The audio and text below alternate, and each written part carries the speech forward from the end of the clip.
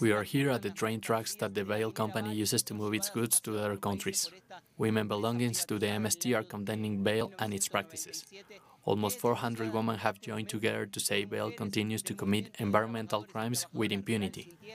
In January, in the municipality of Brumadinho, a dam belonging to Vale broke, killing 200 people. Right now, we are nearby Brumadinho, and it's another dangerous area with dams.